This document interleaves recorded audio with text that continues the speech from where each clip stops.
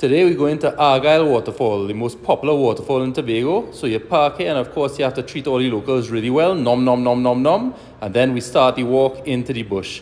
When you're heading here, you'll see this massive tree and it's really beautiful. This is a silk cotton tree by the way. There's an old well on the property and then some garbages for nasty people throw away a thing.